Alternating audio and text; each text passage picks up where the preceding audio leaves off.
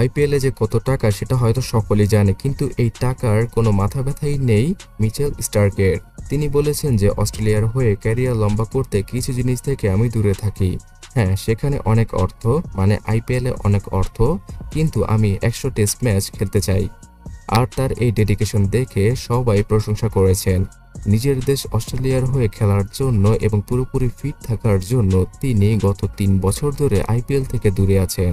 এছাড়া কোটি টাকার বিভিন্ন ধরনের লোভনীয় প্রস্তাবও ফিরিয়ে দিয়েছেন তিনি।